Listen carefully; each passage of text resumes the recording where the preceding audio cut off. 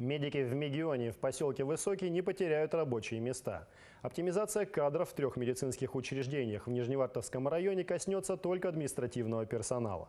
Речь о слиянии Мегионской городской больницы номер один с городской больницей номер два в поселке Высокий и детской больницей «Жемчужинка».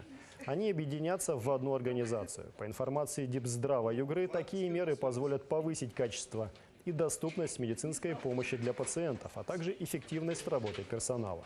Кроме того, в больницах появятся новые рабочие места для узкопрофильных специалистов.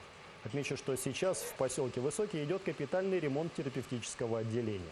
Там реорганизация начнется летом после ввода объекта в эксплуатацию. Сокращение медицинского персонала не планируется. Планируется его в дальнейшем увеличение, потому что образование крупной многопрофильной больницы потребует дополнительных кадров. Сокращение не в поселке Высокий, не в городе Мегионе. Врачей и средних медицинских работников не планируется. Оптимизация коснется только, как я и сказал, административно-управленческого персонала. А, Если не ошибаюсь, это 53 человека, которых коснется оптимизация. В большей части специалистам будет предложена альтернативная работа.